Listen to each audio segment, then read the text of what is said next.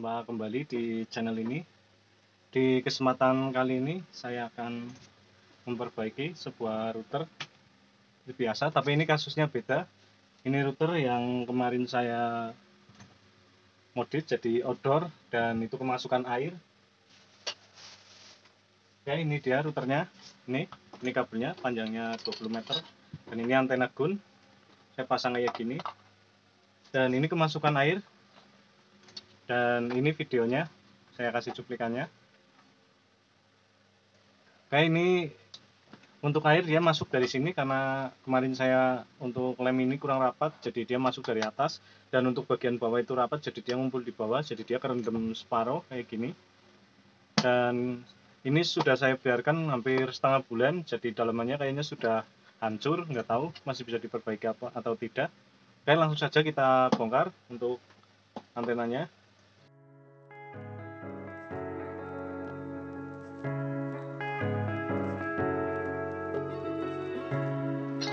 Oke ini dalamannya sudah berkarat semua bisa dilihat ini. Oke pertama-tama kita lepaskan dulu untuk antenanya. Untuk mempermudah. Sudah pada putus ini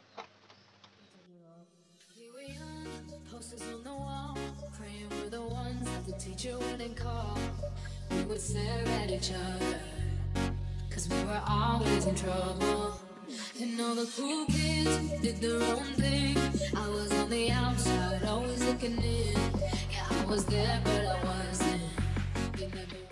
Oke, ini sudah terlepas semua. Ini juga kita nggak kalah penting, ini kita lepas saja pendinginnya. Oke, untuk kondisinya kayak gini, sangat parah sekali, bisa dilihat. Ini kerendam air. Oke, sel selanjutnya kita akan mencucinya. Saya akan mencucinya. Saya cuci kita bersihkan dulu semuanya biar mudah. Oke ini bagian bawah. Ini mau ngelupas untuk jalur PCB nya Oke kita cuci dulu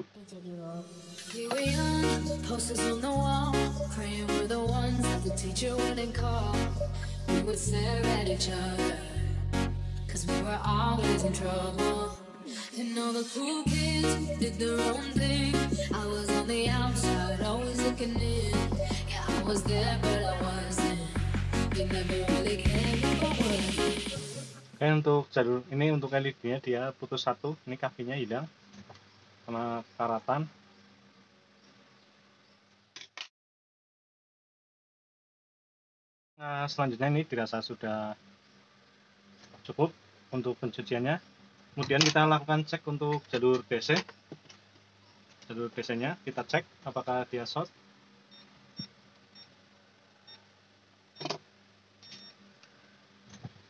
Oke dia aman nggak short. Ini.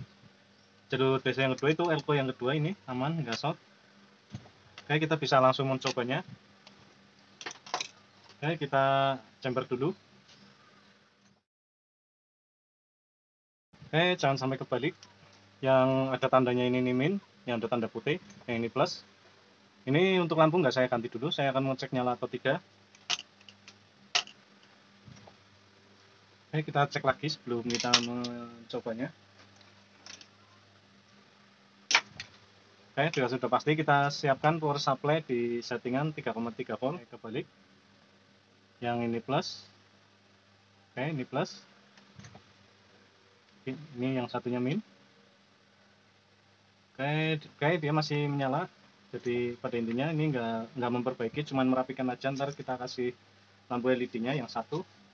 Itu buat LAN. Kita cek untuk SSID nya apa dia muncul. Kayak dia muncul ini bisa dilihat.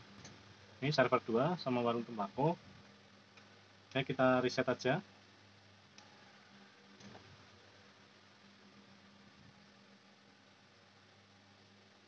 Oke, dia mau masih mau di reset.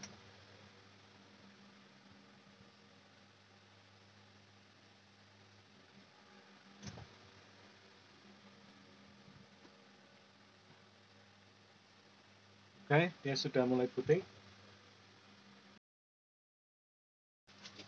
Oke, ini kita masukkan, sambungkan. masih belum bisa